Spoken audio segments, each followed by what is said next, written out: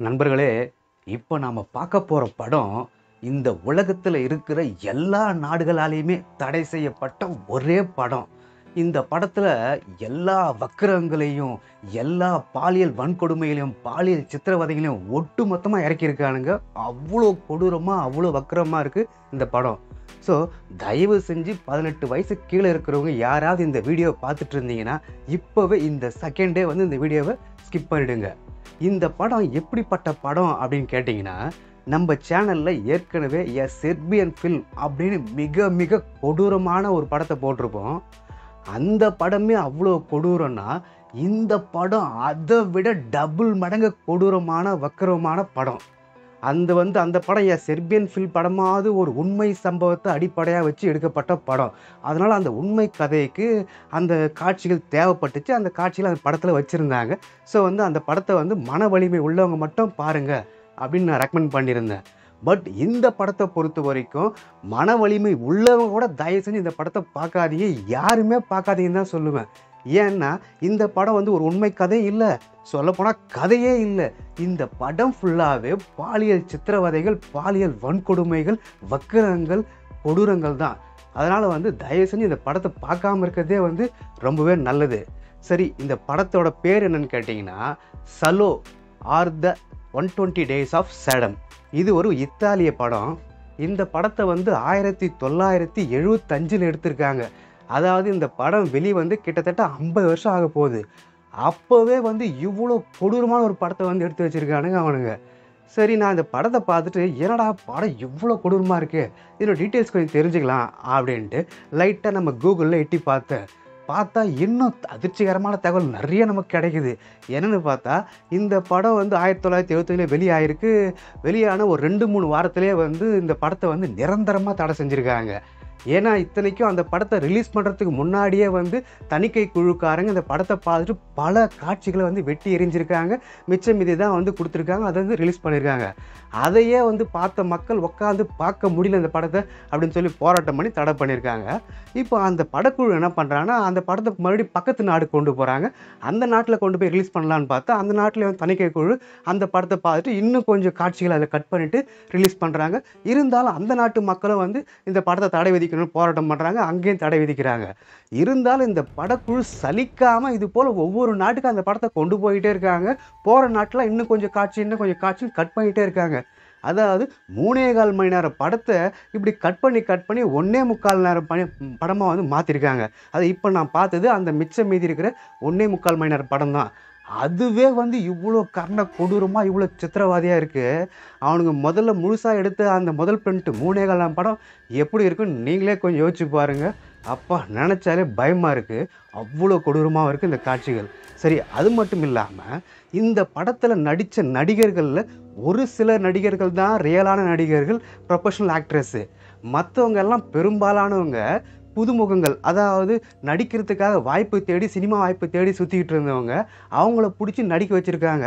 அவங்கள வந்து நமக்கு பப்ளிசிட்டி கிடைக்குமே. இந்த படத்து மூலிமா நாங்கள் நிறைய மற்ற படங்கள் கிடைக்கும் நம்ம வந்து பெரிய ஸ்டார் ஆகலாம் அப்படின்னு நம்பி இவ்வளோ ஒரு க கொடூரமான படத்தை நடி நடிக்க ஒப்பு ஒத்துக்கிட்டு இருக்காங்க. நடித்தும் கொடுத்துருக்காங்க. அதுக்கப்புறம் அந்த படம் வெளியானதுக்கப்புறம் அந்த நடிகர் நடிகைகள்லாம் வந்து பேட்டி கொடுத்துருக்காங்க. அப்படியே கண்ணீர் மல்க சொல்லியிருக்காங்க. என்ன சொல்கிறாங்கன்னு பார்த்தா இந்த படத்தில் நாங்கள் உண்மையிலேயே ஷூட்டிங் நடக்கும்பொழுது ரொம்ப பாலியல் கொடூரங்களை அனுபவித்தோம் அப்படிங்கிறாங்க. அதாவது இந்த படத்தில் வர காட்சிகள் படி சில இடத்துங்களில் வந்து அந்தரங்க உறுப்பையெல்லாம் வந்து நெருப்பால் பொசுக்கி சுடுவாங்க. அதனால் வந்து நாங்கள் உண்மையிலே அப்படி செய்யப்பட்டு எங்கள் அந்தரங்க உறுப்பெல்லாம் வந்து பொசுங்கி போய் ரொம்ப பாதிக்கப்பட்டோம். அப்படிங்கிறாங்க. அதான் இப்போ நம்ம ஊர் பக்கம்லாம் சொல்லுவாங்க இல்லையா ஹீரோக்கள் வந்து சண்டை காட்சிகள் நடித்தோம் எங்களுக்கு கை கால் அடி அடிபட்டுருச்சு எலும்பு முறிஞ்சிருச்சு இங்கே இத்தனை தையல் போட்டோம் அப்படின்னு சொல்லுவாங்க பாரு. அதுபோல் அவங்க வந்து இது போல் எங்கள் அந்தரங்க உறப்புலாம் வந்து சந்திச்சு போச்சு ரொம்ப தீயில் பொசுங்கி போச்சு அப்படிங்கிற மாதிரிலாம் பேட்டி கொடுத்துருக்காங்க. அப்போனா பார்த்துங்க ஏன்னா இந்த படம் வந்து ஆயிரத்தி தொள்ளாயிரத்தி எழுபத்தஞ்சில் எடுக்கப்பட்டது. அப்போல்லாம் வந்து கிராஃபிக்ஸ்லாம் வந்து அந்த அளவுக்கு முன்னேறாத காலகட்டம். அதனால் சில காட்சிகளை அவனுக்கு வந்து ரியலாகவே எடுத்திருக்காங்க. அதனால் இவ்வளோ பாதிப்பு ஏற்பட்டிருக்கு. இதெல்லாம் சரிங்க. முதல்ல இருந்தே நீங்கள் சித்திரவதை சித்திரவதைன்னு சொல்லிக்கிட்டு இருக்கீங்களே அப்படி என்ன தான் சித்திரவதை இதில் பண்ணுறாங்க அப்படின்னு கேட்குறீங்களா சொல்கிறேன் அதாவது ஒருத்தன் பல பேர் முன்னிலையில் நடு ஹாலில் காலை கடனை கழிக்கிறான். அதை வந்து ஒரு பெண்ணை கூப்பிட்டு அந்த மலத்தை அப்படியே எடுத்து திங்க சொல்கிறான் அவளும் வேறு வழி இல்லாமல் அந்த மலத்தை எடுத்து திங்கறா. அதுக்கப்புறம் சிறுநீரை குடிக்க வைக்கிறானுங்க.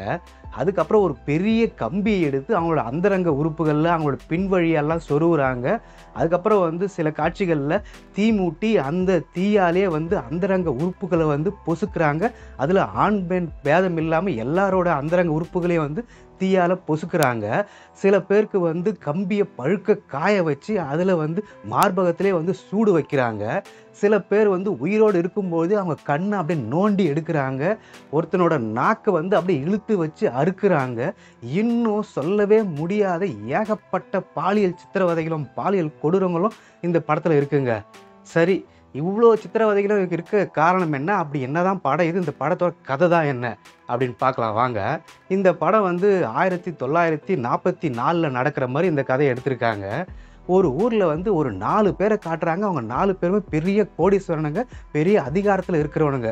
அதாவது ஒருத்த வந்து அந்த ஊரோட பிரசிடெண்ட்டு இன்னொருத்த ஒரு டாக்டரு இன்னொருத்த வந்து ஒரு மத குருமாரு இன்னொருத்த ஒரு ஜட்ஜி இந்த நாலு பேருங்க பண்ணுற அராஜகமும் அந்த பாலியல் சித்திரவதையில் தான் அந்த முழு படமே.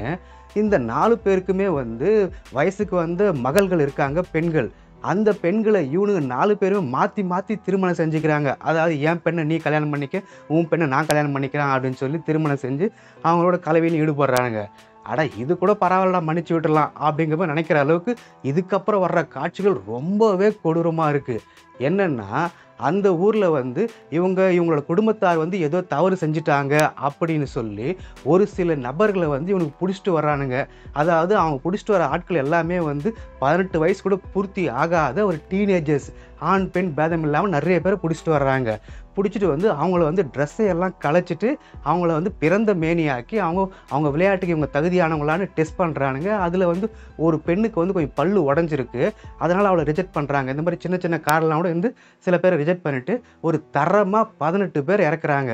அதாவது ஒன்பது பெண்கள் ஒன்பது ஆண்கள் செலக்ட் பண்ணுறாங்க இந்த பதினெட்டு பேரையும் வந்து ஒரு வேனில் ஏற்றிக்கிட்டு வெளியே கூப்பிட்டு போகிறானுங்க அப்போ அதுலேருந்து ஒரு பையன் வந்து தப்பிச்சு ஓடலாம்னு முயற்சி பண்ணுறான் இப்போ கருணையே இல்லாமல் அந்த பையனை அப்படியே சுட்டு சாகடிக்கிறாங்க. அவன் இறந்து போகிறான் இப்போ மிச்சம் இருக்கிற அந்த பதினேழு பேரை கூப்பிட்டுக்கிட்டு ஒரு தனியாக பெரிய பங்களா ஒரு மாளிகை இருக்குது அங்கே கூப்பிட்டு போகிறானுங்க இப்போ அவங்க கிட்ட என்ன சொல்கிறானுங்க நாலு பேருன்னா இந்த பாருங்கள் உங்கள் குடும்பத்தார் வந்து அரசாங்கத்துக்கு எதிராக செயல்பட்டிருக்காங்க. அதனால் வந்து உங்களை வந்து நாங்கள் அரெஸ்ட் பண்ணியிருக்கோம். அதாவது நீங்கள் வந்து ஆல்ரெடி செத்து போயிட்டீங்க அப்படின்னு உங்களுக்கு சர்டிஃபிகேட்டை ரெடி பண்ணிட்டோம். ஸோ இந்த உலகத்தை பொறுத்த வரைக்கும் நீங்கள் ஆல்ரெடி இறந்து போயிட்டீங்க. நீங்கள் நினச்சாலும் இனிமேல் இந்த உலகத்தில் வாழ முடியாது. ஆனால் இந்த நூற்றி இருபது நாட்கள் எங்கள் கூட இருந்து நாங்கள் சொல்கிற மாதிரி கேட்டு ஒத்துழைச்சிங்கன்னா இந்த நூற்றி இருபது நாள் கழித்து நாங்கள் உங்களை விட்டுருவோம். நீங்கள் எங்கேயாவது கண் காணாத தேசமாக போயிட்டு பொழைச்சிக்கலாம் அப்படிங்கிற மாதிரி சொல்கிறாங்க இப்போ அந்த அஹ், பிள்ளைங்களும் வேறு வழி இல்லாமல் அதுக்கு சம்மதிக்கிறாங்க. இப்போ இந்த நூற்றி இருபது நாட்களும் இவங்க என்னெல்லாம் கொடுமை பண்ணுறாங்க டெய்லி அப்படிங்கிறதா இந்த ஒட்டுமொத்த படமே. அதாவது இதில் வந்து ஒரு ரெண்டு விபச்சார பெண்களை காட்டுறாங்க. அதில் வந்து ஒரு பெண்ணோட வேலை என்னன்னு பார்த்தா மியூசிக் வாசிச்சுக்கிட்டு நல்லா பாட்டு பாடி இந்த நாலு கோடீஸ்வரர்களை வந்து சந்தோஷப்படுத்தணும் உற்சாகப்படுத்தணும். அது அவளோட வேலை. இன்னொரு விலை மாது இருக்கா அவள் தான் முக்கியமானவ. அவள் என்ன பண்ணுறான்னா காம கதைகளை சொல்லி இவங்களுக்கு வந்து சூடு ஏற்றுறா இவங்களுக்கு மூடுக்கு கொண்டு வர மூடு உருவாக்குறா. அதாவது அவளுக்கு சின்ன வயசில் நேர்ந்த அந்த பாலியல் தொந்தரவுகள் பாலியல் அனுபவங்கள்லாம் வந்து ரொம்ப கவர்ச்சியாக ரொம்ப ஆபாசமாக அப்படியே ஓப்பனாக பச்சையான வார்த்தைகளை யூஸ் பண்ணி அவங்களுக்கு மூடு வர்ற மாதிரி வந்து கதை சொல்கிறா அந்த கதையை கேட்டு இவங்க மூடு வந்து இவங்க கொண்டு போன அந்த பிள்ளைங்களை வந்து அவங்க கூப்பிட்டு போயிட்டு கலையில் ஈடுபடுறாங்க. அதை கொடுமைப்படுத்துகிறாங்க இந்த மாதிரி வந்து டெய்லி அவங்க வாழ்க்கை போய்கிட்டுருக்கு இப்போ அதில் என்ன பண்ணுறானுங்கன்னா அதிலிருந்தே ஒரு பெண்ணையும் ஒரு ஆணையும் செலக்ட் பண்ணுறானுங்க அவங்க ரெண்டு பேரையும் வந்து கூப்பிட்டு வச்சு அவங்களுக்கு வந்து கல்யாண ட்ரெஸ் எல்லாம் கொடுத்து ரெண்டு பேரும் முறைப்படி கல்யாணம் பண்ணி வைக்கிறாங்க. கல்யாணம் பண்ணி வச்சுட்டு அங்கே நடு ஹாலி எல்லார் முன்னாலேயுமே வந்து அப்படியே நீங்கள் ரெண்டு பேரும் முதலீடு பண்ணணும் அப்படிங்கிறாங்க. இப்போ அவங்களும் வேறு வழி இல்லாமல் வந்து ட்ரெஸ் எல்லாம் களைஞ்சிட்டு பிறந்த மேனியாகி இப்போ அப்படியே கொஞ்சம் கொஞ்சமாக கலையில் ஈடுபடலாம் அப்படின்னு நெருங்குறாங்க. அப்படி ஈடுபட்டு கொஞ்சம் ட்ரை பண்ணும்போது அந்த நேரத்தில் அவங்க ரெண்டு பேரும் வந்து பிரிச்சிடுறானுங்க. பிரித்து அப்படியே அந்த ரெண்டு பேரையும் இந்த நாலு பேர் வந்து கலையில் ஈடுபடுறானுங்க. அந்த மாதிரியான ஒரு கொ- க- கொடூரமான அந்த எண்ணம் படைச்சவங்களா இருக்கானு அந்த மாதிரிலாம் சித்திரவதை பண்ணிக்கிட்டு இருக்கானுங்க. இது போல் தினசரி ஏதாவது ஒரு சித்திரவதையை வந்து இவங்க அரங்கேற்றிக்கிட்டே இருக்காங்க. அதில் வந்து இந்த பெண் என்னெல்லாம் வந்து காம கதைகளை சொல்கிறாலோ அந்த கதைகளில் வர காட்சிகள் மாதிரியே வந்து இவனும் வந்து அதை செய் செயல்படுத்துகிறானுங்க அதில் வந்து ஒரு காட்சியில் அந்த பெண்ணு சொல்லுவா என்ன என்னோட சிறுநீரை வந்து அவன் ஒருத்தன் குடித்தான் அப்படிங்கிற மாதிரி சொல்லுவாள் இப்போ அதே போல் அந்த பிரசிடென்ட் என்னன்றா என்ன பண்ணுறான் ஒரு பெண்ணை கூட்டு போய் அவளை வந்து சிறுநீரை கழிக்க சொல்லி அதை வந்து இவன் குடிக்கிறான். இது போல் ப சில பிரச்சனைகளை பண்ணும்போது ஒரு பெண்ணுக்கு வந்து அதில் உடன்பாடு இல்லாமல் அவள் அங்கே தப்பிச்சு ஓட பார்க்குறா. அவளே வந்து அவன் கழுத்தறுத்து அப்படியே ஈவிரக்கம் இல்லாமல் சாவடிச்சிடுறானுங்க. இப்போ மற்றவங்க மற்றவங்கலாம் வேறு வழி இல்லாமல் இவன் சொல் பேச்சு கேட்டு நடந்துக்கிட்டு இருக்காங்க.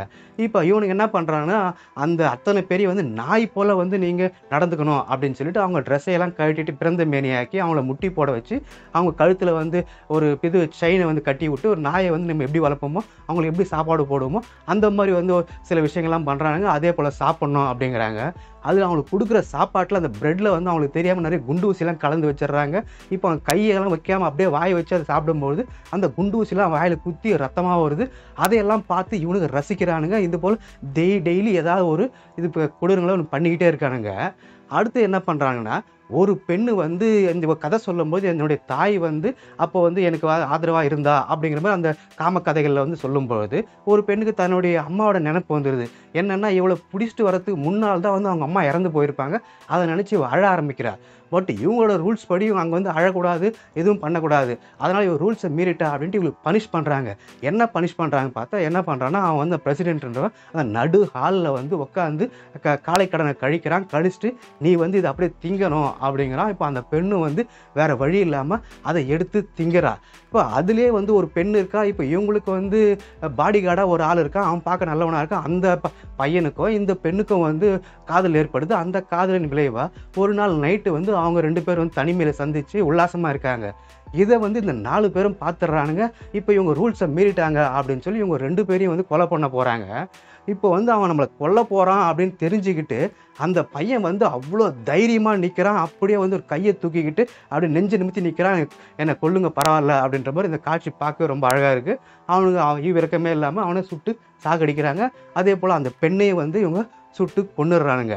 இதையெல்லாம் பார்த்துக்கிட்டு இருக்கிற அந்த பாட்டு பாடுற பெண் இருக்கா இல்லையா? அவளாலே தாங்க இத்தனைக்கும் அவ்வளோ ஒரு விபச்சாரி தான் விலை மாது தான். அவளாலே அந்த குடூரலை தாங்கிக்க முடியாமல் ஒரு கட்டத்தில் வந்து அந்த பில்டிங் மேலேருந்து கீழே குதித்து இறந்தே போகிறா அப்புறம் இன்னொரு நாள் வந்து இன்னொரு காட்சியில் வந்து இவங்களுக்கு ஒரு வினோதமான ஆசை வருது. அதாவது இந்த நாலு பேருமே வந்து பெண்கள் மாதிரி வந்து ட்ரெஸ் பண்ணிக்கிட்டு அதை மணக்கோலத்தில் இப்போ அவங்க வந்து நான் கல்யாண பெண்ணு மாதிரி வந்து அலங்கரிச்சுக்கிட்டு வர்றாங்க. அதுலேருந்து ஒரு நாலு பசங்களை செலக்ட் பண்ணி அவங்கள வந்து அவங்க இவங்க கல்யாணம் செஞ்சுக்கிறாங்க. இப்போ அவங்க முதலிரவு நடத்த ஆரம்பிக்கிறாங்க. அதாவது அந்த ஆண் பிள்ளைகள் வந்து இந்த பெண் வேடமிட்டிருக்க பணக்காரங்களோட வந்து பின் வழியாக வந்து கலவையில் ஈடுபடுறாங்க. அதை அவனுங்க வந்து ரசிக்கிறானுங்க. அதை வந்து ஏற்றுக்கிறானுங்க அந்த மாதிரி ஒரு கொடூரமான எண்ணம் உள்ளவளாக இருக்காங்க இது போல் இன்னும் சொல்லவே முடியாத நிறைய காட்சிகள் இந்த படத்தில் வந்து சொல்லிக்கிட்டே போகலாம் அவ்வளோ இருக்குது சரி நம்ம இப்போ டைரெக்டாக அந்த இந்த கிளைமேக்ஸ் என்னென்னு பார்க்கலாம். இங்கே கடைசியில் வந்து என்ன பண்ணுறாங்கன்னா ஒவ்வொருத்தையும் ரொம்ப கொடூரமாக வந்து கொல்ல ஆரம்பிக்கிறாங்க. என்ன பண்ணுறான் ஒருத்தன் வந்து ஒருத்தனோட கண்ணை பிடிச்சி அப்படியே பிடுங்கி நோண்டி எடுத்து வந்து அவனை கொலை பண்ணுறான் இன்னொருத்தன் அப்படியே ஒருத்தன் நாக்கை பிடிச்சி இழுத்து வச்சு அறுத்து அவனை வந்து கொடூரமாக கொள்கிறான் இதையெல்லாம் வந்து அவனுக்கு பார்த்து ரசிக்கிறானுங்க. அதில் வந்து அவ்வளோ சந்தோஷப்படுறானுங்க. அவ்வளோ வக்கரமாக வந்து அதை பார்த்து ரசிச்சுக்கிட்டு இருக்கானுங்க. இன்னும் சில பேர் என்ன பண்ணுறாங்க அதில் இருக்கிற சில ஆண்களையும் பெண்களையும் பிடிச்சு தீ மூட்டி அந்த தீயாலேயே வந்து அந்த அந்தரங்க உறுப்புகளும் பொசுக்கி அவங்கள சாகடிக்கிறாங்க. சில பேருக்கு வந்து அது பின் வழியாக அந்த கம்பியை விட்டு சொருகி அவங்கள சாகடிக்கிறாங்க.